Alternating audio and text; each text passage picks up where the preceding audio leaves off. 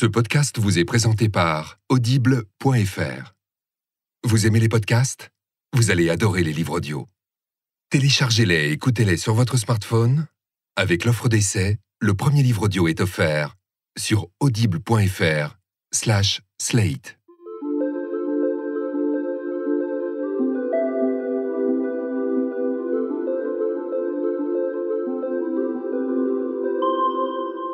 Nous sommes dans le meilleur des mondes, cet univers dystopique d'Aldous Huxley, où les humains sont désormais conçus en laboratoire, et où tout s'absorbe désormais du soma, substance distribuée en fin de journée au travail, qui permet d'accéder au bonheur.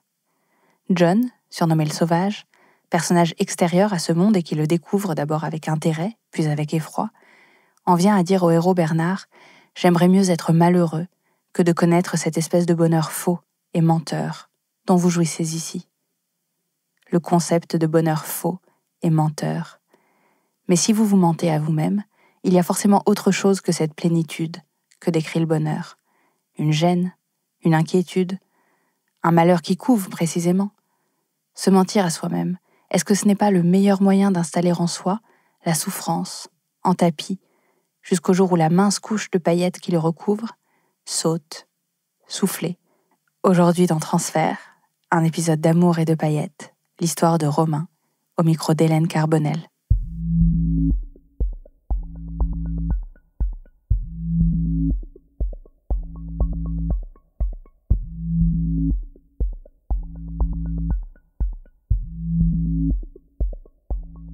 J'ai 15 ans et j'ai une discussion relativement récurrente euh, avec euh, ma mère je lui parle euh, du mariage que, que j'aimerais faire un jour. L'endroit où il sera, ce sera, euh, ce sera chez eux, ce sera dans le jardin euh, familial. J'ai déjà choisi un barnum, j'ai l'idée d'une décoration, de la vaisselle, mettre les petits plats dans les grands. Je, je sais que je mettrai le prix dans la façon de m'habiller ce jour-là. Euh, et en face, je veux évidemment que, que l'autre soit parfait aussi, qu'il y ait visuellement une harmonie, en tout cas idéale je veux un mariage de film euh, de comédie romantique américaine. Cette histoire d'amour, je l'espère, mais je la cherche pas. J'attends un petit peu qu'elle me tombe dessus. J'ai 23 ans, on est au mois de mai, et j'ai un week-end tranquille, ce qui m'arrive pas souvent. Je décide de sortir dans l'après-midi, je vais à un festival de musique, et puis la journée euh, s'allonge, continue, et je décide de sortir euh, avec des amis le soir. On va dans un bar, euh, on picole, puis on va en boîte. Et assez rapidement, l'ami avec qui je suis s'en va et je me retrouve tout seul, tout seul dans cette boîte. Et je croise, je croise un mec qui me, qui me plaît instantanément. Il est grand, il a les yeux bleus, il a le nez un peu cassé. Pour moi, il est très beau. J'essaye d'attirer son attention, de, de, danser avec lui. Dès qu'il va au fumoir, je le suis. Dès qu'il va dehors, je le suis. Il re-rentre dans la boîte, je le suis. Et puis j'arrive euh, à danser avec lui. Et on finit par s'embrasser dans la boîte, assez langoureusement. Et on danse jusqu'au petit matin, ce qui fait qu'on se retrouvera à l'extérieur à la fermeture de la boîte. Il fait déjà jour. On discute ensemble. On fait connaissance. Et je suis d'autant plus séduit qu'il ne cherche pas à rentrer avec moi, ni à ce que je rentre avec lui. Il me donne son numéro et instantanément, on s'enverra un message pour nous dire mutuellement qu'on était ravis de cette rencontre. Il s'écoule un mois avant qu'on se revoie. Et c'est un mois pendant, pendant lequel on s'échange euh, énormément de messages, très régulièrement. Dans un de ces messages, il me prévient que son ex euh, a pris contact avec moi parce que son ex est au courant que nous nous sommes rencontrés. Moi, je vérifie, j'ai pas de message, j'ai rien, j'ai pas d'email, et donc je lui dis non, j'ai pas eu de, j'ai pas eu de message. Fabrice a l'air assez inquiet face à ça, et en fait, j'en suis assez touché. Euh, j'ai l'impression que si son ex me considère comme un danger, c'est que j'en vaut la peine dans la, dans la vie de Fabrice. Au bout d'un mois, on arrive enfin à trouver une soirée disponible en commun. On se retrouve tous les deux, je suis très angoissé parce qu'il va me revoir physiquement. Il va se rappeler de ce à quoi je ressemble. Mais à la fois, je suis très excité, je suis hyper content. On se retrouve tous les deux, je me rends compte qu'il est dans le même état que moi. Il est stressé et il est impatient. On prend un verre ensemble, puis un deuxième, un troisième, et finalement, assez rapidement, on se réembrasse et on passe la nuit ensemble. C'est un vendredi soir et on ne se quittera que le lundi matin. On passe le week-end entier tous les deux. C'est très complice, c'est assez fluide. Le premier matin, je vais lui préparer des crêpes. Je me donne déjà à fond dans cette histoire.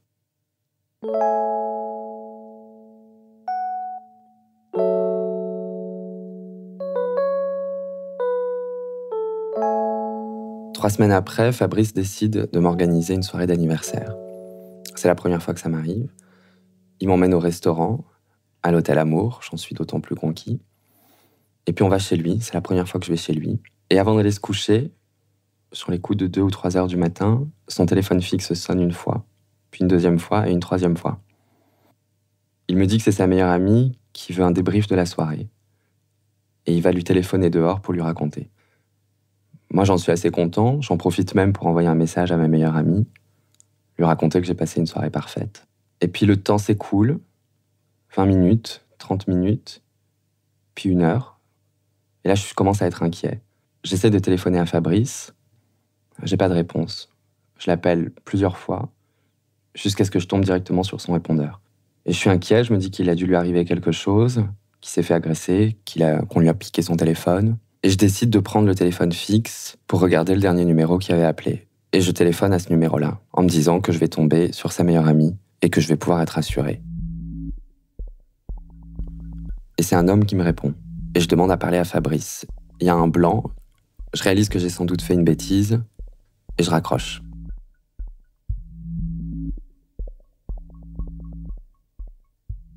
Il s'écoule facilement deux ou trois heures avant que Fabrice ne rentre. Et quand il passe la porte, je suis soulagé, je m'effondre presque par terre. Il me rassure, et tout de suite je lui dis Je pense que j'ai fait une bêtise. Je m'en veux tellement d'avoir passé ce coup de téléphone que je cherche pas vraiment à savoir pourquoi il a mis autant de temps. Je lui raconte que j'ai téléphoné au dernier numéro qui s'affichait, que je suis tombé sur un garçon, et lui me dit très sereinement que peut-être le dernier appel c'était quelqu'un d'autre et que je me suis bêtement trompé de numéro. Un mois et demi après le début de notre relation, on rentre d'une soirée tous les deux, on est hyper complices, on rigole, et puis je le fais tellement rire qu'un je t'aime lui échappe. Il est gêné et je lui réponds que je l'aime aussi. Ce je t'aime que je lui dis, ça fait sans doute quelques semaines que je me retiens de lui dire. C'est la première fois que je vis un amour réciproque et qui est exactement comme je l'imaginais quand j'étais plus jeune.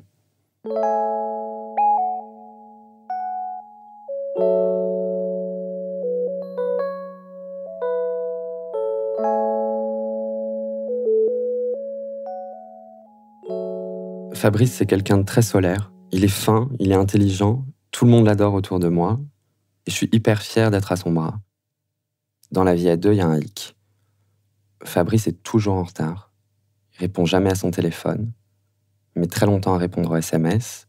Je ne connais pas ses amis. Tous ces petits détails, ça peut m'énerver, mais je veux faire l'effort de construire quelque chose avec lui. Je lui fais confiance et ça n'éveille aucun soupçon chez moi. Ça fait trois mois qu'on est ensemble et puis il m'appelle un jour en panique. Tous ses meubles ont été mis dehors, son appartement a été vidé. Il a un bail en commun avec son ex, et pour pouvoir prendre un autre appartement, ce garçon a décidé de vider les lieux et de virer Fabrice. J'arrive sur place, on remplit la voiture, et on va stocker toutes les affaires de Fabrice chez une copine à lui. On décharge tout, on remplit le hall de l'immeuble, et au moment de monter vers l'appartement, Fabrice me dit Non, ne monte pas, je dérange déjà suffisamment, je vais pas en plus t'imposer. J'y prête pas attention, en un sens je comprends ce qu'il me dit, et au moment de quitter l'immeuble, je lève la tête, et à la fenêtre, je croise le regard d'un homme que je connais pas. Je trouve ça assez étonnant, puisqu'on est censé stocker ses affaires chez une copine à lui. Le jour même, pour le dépanner, je propose à Fabrice de venir, évidemment, à la maison. Et assez rapidement, on se dit, bah, on va emménager ensemble. D'un commun accord, on dit qu'il payera la moitié du loyer tous les mois, et puis on reporte à chaque fois. Je lui demande jamais sa part de loyer, j'ai pas besoin de cet argent, je me dis qu'on verra plus tard. Spontanément, Fabrice me demande, me propose jamais de me donner sa part du loyer. Et de la même manière, c'est moi qui fais les courses, c'est moi qui cuisine, c'est moi qui fais le ménage, à un moment où lui travaille pas et où il passe sa journée chez moi à glander. J'ai pas envie d'être chiant dans l'histoire. Et c'est sans doute pour ça que je lui demande jamais de payer le loyer, que je lui demande pas de faire la cuisine, que je lui demande pas de m'aider.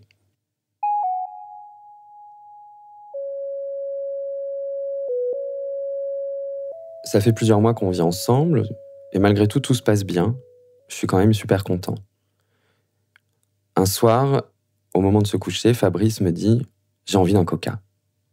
Alors je ris un petit peu sur le moment, mais tu peux pas attendre, c'est pas. Euh, pourquoi là, un coca à 1h du matin? Il en fait qu'à sa tête et lui il se dit Non, non, je, descends à l'épicerie en bas, je vais acheter un coca. Il descend chercher son coca, l'épicier est juste à côté, donc il en a vraiment pour 5 minutes. Et puis il s'écoule 5, 10, 15, 20, et moi je commence à vraiment m'inquiéter. Je dors pas de la nuit. J'essaye de l'appeler, il répond jamais à son téléphone. J'arrive pas à dormir. Et puis à 7 heures du matin, il rentre tout penaud, l'air de rien. Je lui fais tout de suite part de mon inquiétude. Je lui dis, je lui dis qu'il peut pas me laisser comme ça, il peut pas me laisser euh, m'inquiéter euh, dans, mon coin sans me donner de nouvelles. Il me dira que l'épicier était fermé, qu'il est allé en chercher un autre, puis qu'il a dû aller retirer de l'argent encore plus loin, et que finalement il s'est perdu dans l'arrondissement. Il avait plus aucune idée d'où il était. Il a pris un taxi pour rentrer et il voulait pas me réveiller en pleine nuit, donc il est allé dormir chez une copine à lui. Et malgré l'énormité de l'excuse, j'y crois. Je pense que j'y crois parce qu'il euh, est tellement déboussolé euh, dans sa vie de tous les jours que je me dis effectivement, c'est typiquement le genre de mec qui peut euh, se perdre, ne plus savoir où il est, et puis c'est quelqu'un à qui il arrive que des merdes.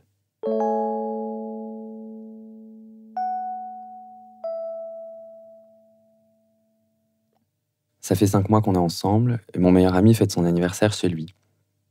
Je vais ramener Fabrice à cette soirée. Il est au courant. On a rendez-vous à République tous les deux, une demi-heure plus tard. J'arrive à République et je lui dis, je suis là. Et il me répond, ben, je suis en train de partir du boulot. Je trouve qu'il exagère parce que ça fait déjà une demi-heure qu'il est censé être parti. Et je lui dis, bah non, je vais pas t'attendre euh, toute la soirée. J'attends pas une demi-heure dans le froid. Je te donne l'adresse. On se retrouve directement là-bas.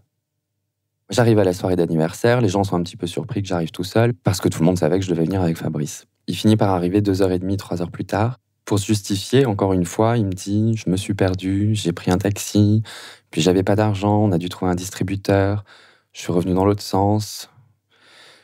J'y crois qu'à moitié.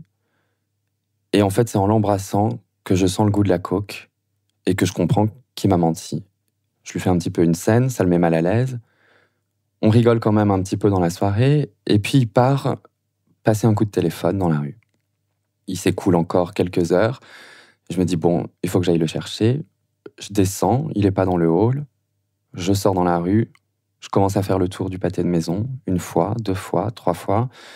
Puis je me mets à le faire en courant. Puis je fais le pied de grue en me disant peut-être qu'il est en train de faire exactement le chemin inverse du mien. On va bien finir par se croiser. La soirée s'écoule comme ça. Puis il y a quelqu'un qui quitte la soirée et qui me voit en bas, comme si j'attendais un taxi, et qui rigole presque en me disant Mais qu'est-ce que tu fais encore là? Je décide de remonter chez mon meilleur ami. Et quand j'arrive tout seul, les bras ballants, je vois que tout le monde est un petit peu démuni, inquiet. Mon meilleur ami me dit Oh mon pauvre. Et je sens dans son regard qu'il a peur pour moi. Et moi surtout, j'ai honte. J'ai honte parce que tout le monde m'a vu lui faire une scène. Et tout le monde me voit à ce moment-là rentrer tout seul. Personne ne me dit qu'il faut que j'arrête. Mais tout le monde me dit il faut que ça cesse, ça peut, c'est pas sain, ça doit pas se construire comme ça. Tu peux pas vivre ça, tu peux pas toujours être dans l'inquiétude. Je décide de rentrer chez moi, tout seul. Je sais plus exactement quand est-ce que je le revois, mais il me fera comprendre que c'est pour m'avoir puni, lui avoir fait une scène en public, qu'il est parti, et que cette fois je l'avais bien mérité. Et moi j'ai eu tellement peur de le perdre ce soir-là, que je me dis, c'est la dernière fois que, que je lui fais ce genre de reproche.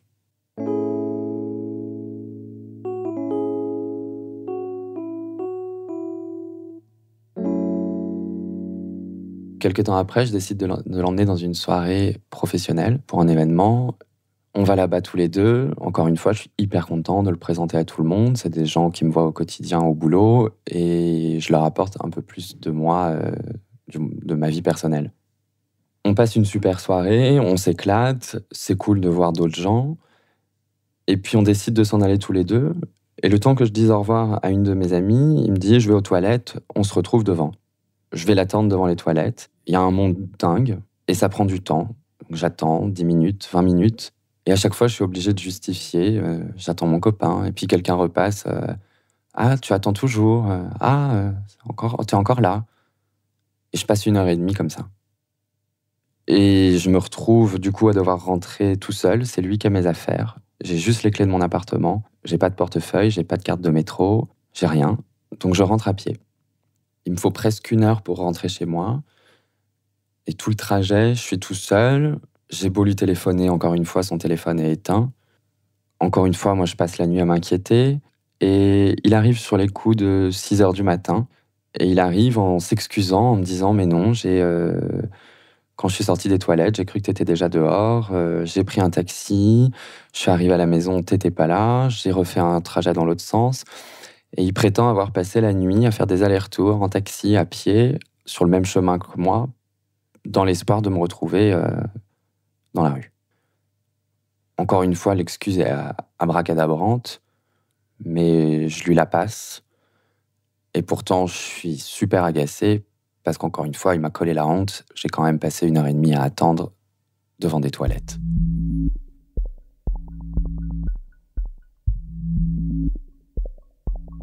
Euh, quelques temps après, on reprend notre relation super bien. Moi, je lui ai repardonné une fois de plus. On reprend notre complicité, on s'amuse, on s'embrasse. Et puis, quand on commence à se faire un câlin, il m'appelle Damien. Sur le coup, je fais l'agacer parce que je sais que c'est le prénom de son ex. Mais en un sens, ça me fait rire comme bourde. Je trouve que la situation est drôle, se tromper de prénom, c'est tellement cliché que c'en est marrant ça doit faire six mois, sept mois peut-être qu'on est ensemble. Et la mère de Fabrice est tombée dans le coma. Elle est en état de mort cérébrale. Il est mort d'inquiétude, évidemment, ce que je comprends. Et il commence à devoir euh, descendre dans le sud assez régulièrement. Parfois, il y va un week-end, parfois, il y va une semaine, parfois 15 jours. Et c'est des moments où il me donne très peu de nouvelles et où je suis pas au courant de tout ce qu'il fait. Pourtant, là-bas, il n'est pas censé non plus avoir un emploi du temps très prenant. Parfois, il me prévient pas qu'il va dans le sud, c'est au bout de quelques jours sans nouvelles que j'arrive enfin à l'avoir au téléphone et qui me dit oui, j'ai dû descendre en urgence. Je suis allé voir ma mère, euh, ça ne va pas, il s'est passé ça. C'est ces disparitions à répétition qui vont commencer à éveiller des doutes chez moi, mais avant tout chez mes amis. C'est eux qui commenceront à me dire Romain, il faut te réveiller, il y a peut-être quelqu'un d'autre, je pense que Fabrice a un secret. Et je commence à avoir des doutes et pourtant, quand on en parle tous les deux, c'est impossible qu'il y ait quelqu'un d'autre. Quand on me fait des reproches sur Fabrice, moi je le défends. Je leur explique qu'ils ne peuvent pas comprendre ce qu'il est en train de vivre, ce que tous les problèmes qu'il a, que moi je comprends tout à fait. Et ça m'agace qu'on me fasse ces reproches-là à propos de, de l'homme que j'aime. Et j'en viendrai même à mettre des distances avec certains amis. Un jour, il me laisse euh, sans nouvelles. Il s'écoule une semaine, puis deux. Et là, je commence vraiment à m'inquiéter. J'ai pas, j'arrive pas à le joindre. Et pour savoir s'il est dans le sud, je voudrais juste m'assurer auprès de l'hôpital qu'il y a bien un grand garçon euh, qui vient voir euh, cette dame. J'appelle l'hôpital dans lequel je présume qu'elle est, qui me redirige vers une clinique. Et en appelant la clinique, on me dit non, cette dame, effectivement, vient très souvent, elle a des examens euh, à faire euh, toutes les semaines, mais elle n'est pas hospitalisée. Là, moi, je réalise qu'il y a un énorme mensonge. Elle est censée être dans le coma. Pourquoi ce mensonge? Pourquoi un truc aussi grave? Et qu'est-ce qui a bien pu se passer? Alors, avec son nom de famille, je décide de chercher le numéro de téléphone de cette dame. Je le trouve, je l'appelle, et je me présente, je m'excuse parce qu'elle me connaît pas, on s'est jamais rencontrés. Je suis obligé de lui dire qui je suis, ça me met très mal à l'aise. Et je lui explique, j'ai pas de nouvelles de Fabrice depuis 15 jours, je suis inquiet. Et bizarrement, c'est moi qui lui donne presque une excuse en lui disant Je pense peut-être que Fabrice a dû aller chez son oncle et sa tante en banlieue. Il lui arrive ça. A, il a sans doute besoin de s'évader un petit peu. Elle me dit qu'elle est au courant de rien, qu'elle va se renseigner et qu'elle me rappelle. Elle me recontacte effectivement euh, quelques minutes après en me disant euh, effectivement tu as raison c'est ça. Il était euh, il est chez son oncle et sa tante. Il avait besoin d'un petit peu de repos. Il va te contacter t'inquiète pas tout va bien. Il lui est rien arrivé. Et elle terminera par tu sais Romain Fabrice est amoureux de toi il me l'a dit et ça c'est très important pour une maman Fabrice va m'appeler du coup dans la journée, euh, m'expliquera qu'il avait besoin de, effectivement, de se vider la tête, d'être au calme, de, qu'il est trop préoccupé. Et en fait, j'ai été tellement inquiet que j'en oublie complètement qu'il y a un mensonge énorme et que, que j'ai parlé à cette dame. Et pourtant, il m'en parle puisque lui, ça, lui, ça le fait presque rire. Il me dit Oh là là, t'as appelé ma mère. J'ai été tellement inquiet et je suis tellement rassuré de savoir qu'il va bien que j'ai pas besoin d'en savoir plus. Il va se servir de ces 15 jours de disparition pour me dire que l'état de santé de sa mère euh, a super bien évolué et qu'aujourd'hui tout va bien. Et donc je passe l'éponge complètement.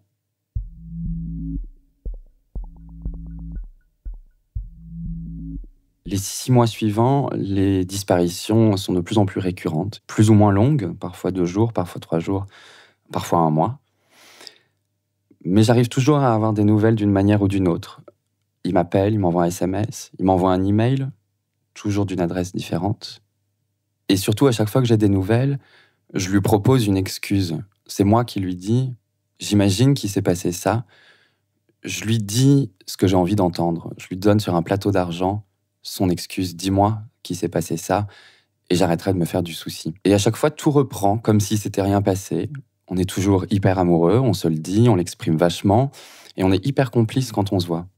Et puis il y a la disparition la plus longue, Fabrice disparaît pendant deux mois. Aucune nouvelle, aucun moyen de savoir où il est. Et entre-temps, je fais mon petit bonhomme de chemin. Je me dis, si on ne peut pas avancer tous les deux, il faut quand même que j'avance tout seul. Et je décide de déménager, de changer d'appartement. C'est quelque chose que je voulais faire avant de le rencontrer. Il fallait que je m'autorise ça. Dans ces deux mois, j'ai démissionné aussi. Il fallait vraiment qu'un truc change.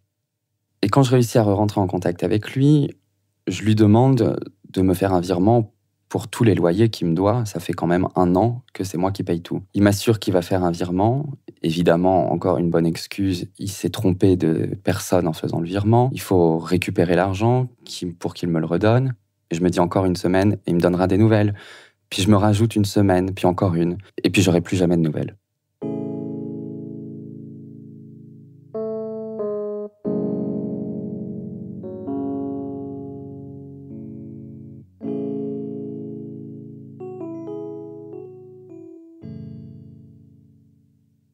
S'écoule quatre mois. Et enfin, pour mon anniversaire, j'attends un message en me disant quand même, il n'oubliera pas. Je ne reçois pas de message, pas un appel, mais je suis pas tellement en colère, je suis déçu. Sept mois plus tard, je finirai par recevoir un message de Fabrice qui m'explique effectivement tout ce que j'avais envie d'entendre. Il a été dépassé par les événements, il a été lâche, il avait besoin de se concentrer sur les mauvaises choses qui lui arrivaient. Il s'en voulait de me de m'avoir fait vivre ça. Il s'excusait. On a passé trois heures et demie ensemble au téléphone et j'ai senti qu'il était toujours amoureux de moi et surtout que j'étais toujours amoureux de lui. Il m'a promis J'arrive à Paris dans trois jours, j'ai hâte de voir notre nouvel appartement, ce sera génial. Mais trois jours plus tard, je n'ai pas de nouvelles, je ne sais même pas s'il est venu à Paris. Et cette fois, c'est la vraie rupture je sens que je me suis fait berner, j'en peux plus et je suis en colère.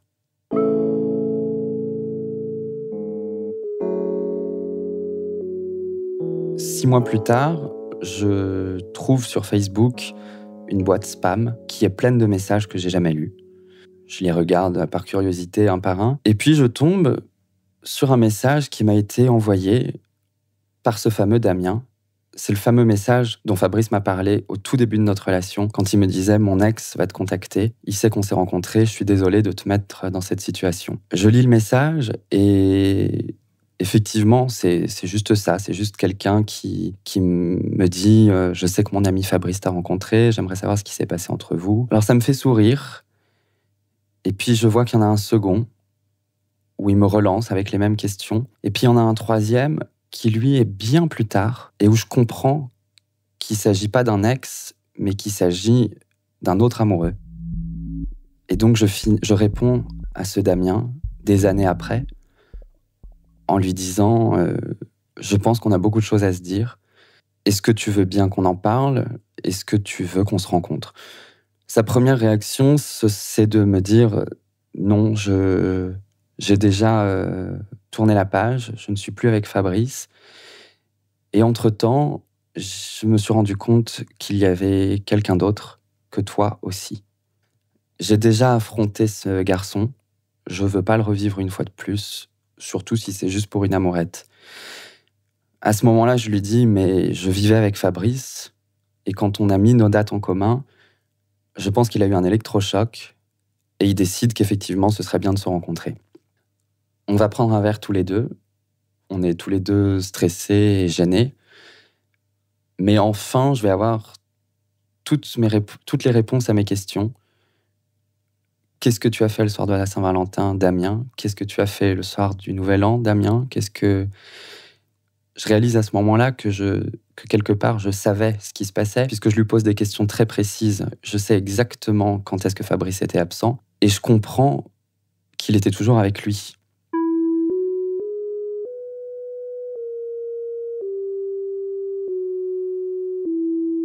Quand je vois Damien, d'abord, physiquement, je comprends les similitudes qu'il y a entre lui et moi. Et je réalise surtout que Damien, c'est ce garçon que j'ai vu à la fenêtre le jour où on a déménagé Fabrice.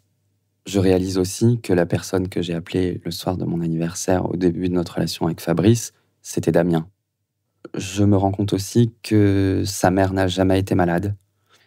Damien, lui, il la connaît. Le jour où j'appelle la mère de Fabrice, pour lui demander où il est. Il s'avère que Fabrice et Damien sont à côté d'elle dans la même pièce, qu'elle est au courant que son fils a plusieurs relations en même temps et qu'elle le protège.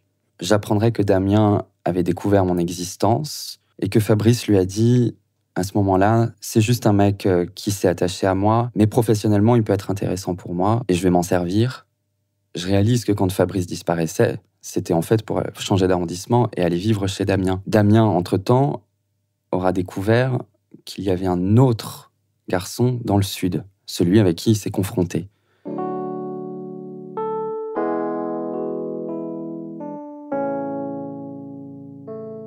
C'est un énorme soulagement de pouvoir enfin savoir ce qui s'est passé et de, me rendre compte à quel point je m'étais fait berner.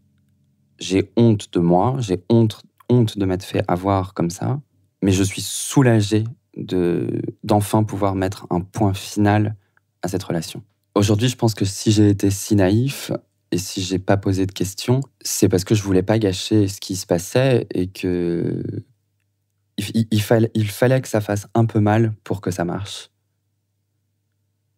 Et j'avais rien le droit de gâcher puisque c'était c'était lui le grand amour.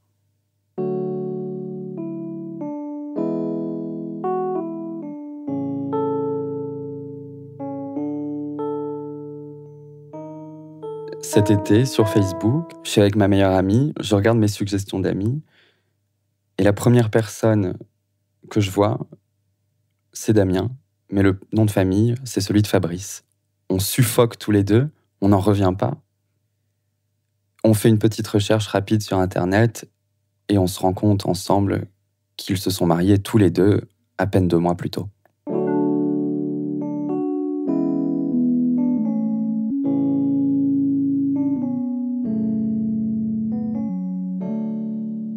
Cette histoire aura quand même fait qu'aujourd'hui, je suis extrêmement suspicieux, j'ai du mal à donner la confiance à un garçon. Et surtout, dès que, j'ai une accroche avec quelqu'un et que tout va bien, je sabote moi-même euh, l'histoire en me posant tout de suite les questions sur ce qui, qu'est-ce qui me cache, qui est-ce qu'il est en réalité et qu'est-ce qu'il va me faire.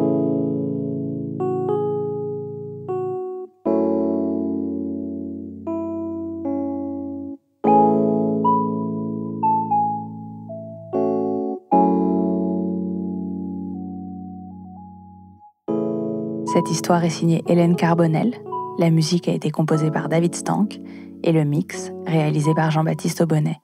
C'est une production Louis Média pour Slate.fr. Si vous voulez nous écrire, envoyez-nous toutes vos histoires ou vos commentaires à podcast@slate.fr et suivez-nous sur les réseaux sociaux, sur Twitter @slatefr, sur Facebook Slate France Podcast et sur Instagram @chapudelot. Partagez les liens des histoires Parlez-en autour de vous et n'hésitez pas à nous laisser des commentaires sur iTunes avec plein d'étoiles. À bientôt. Ce podcast vous a été présenté par audible.fr. Vous aimez les podcasts? Vous allez adorer les livres audio. Téléchargez-les et écoutez-les sur votre smartphone. Avec l'offre d'essai, le premier livre audio est offert sur audible.fr slash slate.